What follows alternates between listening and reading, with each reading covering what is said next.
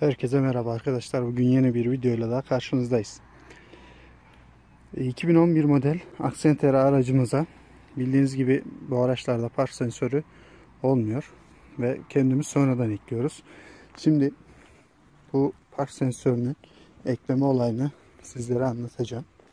Nasıl bir montaj yapıldığına dair. Şu şekilde göstereyim arkadaşlar. 4 tane sensörümüz. Bunların yerlerini nasıl ayarladık? Bunun yerini şu ortada görmüş olduğunuz kilitten direkt tampona bir çizgi indirdik ve tam orta noktayı bulduk. Orta noktadan 20 santim sağa 20 santim sola nokta çizdik ve o sağa ve sola çizdiğimiz noktalardan 40'ar santim sağa 40 santim sola bir nokta daha çizdik ve 4 tane noktamız oldu elimizde. Bu e, sensörlerin aynı hizada olmasını sağlamak için de şu gördüğünüz noktayı bütün her yerde tamponun şu çizgisinden aynı bir ölçüyle alarak noktaları tek bir hizada birleştirdik.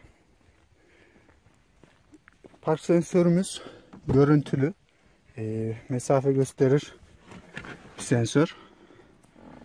Şu şekilde ekranı var. E, ben bunu internetten 75 liraya aldım Neon 1'den. Hemen ekranını göstereyim. Geriye taktığımızda ekranı çalışıyor ama şu anda parladığı için gözükmüyor. Şu şekilde sensörlerimiz çalışıyor. Evet şimdi bu ekranı buraya bağlantısını nasıl gerçekleştirdik? Onu anlatayım arkadaşlar. Ekranımızı ön taraf tam köşeye koyduktan sonra şu direğimizi söktük. Çok orijinal bir işçilik oldu. Çok beğendim ben. Elektrikçi ustamızın yaptığı montajı. Daha önce lineer aracım vardı.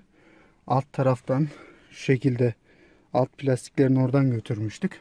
Ama bu daha orijinal geldi bana. Bu direğin içinden kablomuzu şu şekilde yukarı fitilin komple boydan yukarıda fitilin altından e, ortadaki direğimizin şu kapağını esneterek buradan bu şekilde yine arka kapımızdan arka tarafa doğru hemen göstereyim. Arka direğimize doğru geldi kablomuz. E, bu arka direğin içinden şu kısımdan bagaja aldık bunu. Koltuğu hemen yatırdığımızda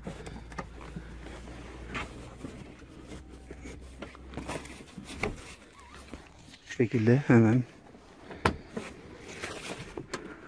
koltuğu yatırdığımızda şu görmüş olduğunuz bagaj plastiğinin altından arka bagaja verdik kablonun devamını.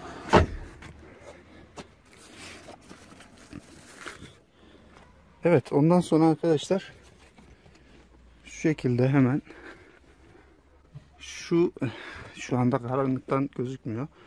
Sol taraftaki bagajımızın iç döşemesinin içinden ekranın kablosunu aldık geldik ve sol taraftaki stopumuzdan geri vitesinden elektriğini aldık beynimizin.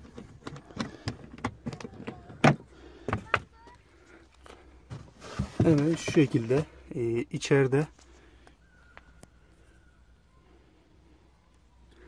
içeride beynimiz var. E, kabloları sensörlerin kablolarını ise arkadaşlar şu döşememizi esnettiğimizde hemen şurada e, çamurluğun köşesinde bir ızgara var. O ızgaranın içinden direkt kablolar geldi zaten. Çok basit oldu alması oradan. Yani bütün her şeyi hazır orada. En son kabloları birleştirip içinde sabitledikten sonra montajımızı tamamladık. Evet arkadaşlar e, bu şekilde yani bu videoyu çekmemin amacı elektrikçi ustamızın uygulamış olduğu işçilik. Yani ben çok beğendim. Daha önceki dediğim lineer aracımda da yaptırmıştım ama bu kadar orijinal bir işçilik olmamıştı.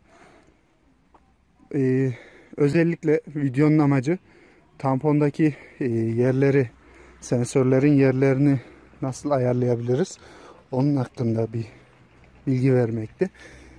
E, sensörleri de arkadaşlar şu şekilde söyleyeyim. Sensörler aşağı yukarı şuradan itibaren tamponumuzun altı dolu. Sensörler o yüzden bu kadar yukarıda kaldı. Yani yapabil indirebileceğimiz maksimum seviyeye indirdik sensörleri.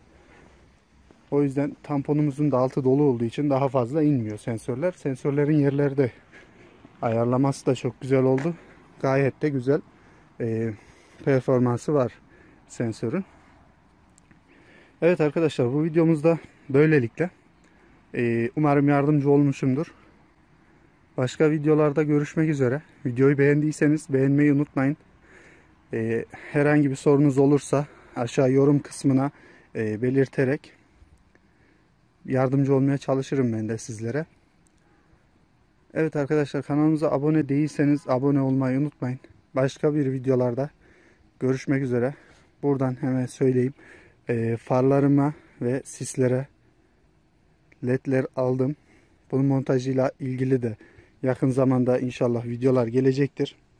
E, daha sonra iç aydınlatmamız, plaka lambalarımız, bagaj aydınlatmamız, bunların da led olarak montajı yani değişimi gelecek arkadaşlar. İnşallah yakın zamanda. Evet arkadaşlar videonun sonuna geldik. Başka bir videoda görüşmek üzere. Kendinize iyi bakın. Hoşçakalın.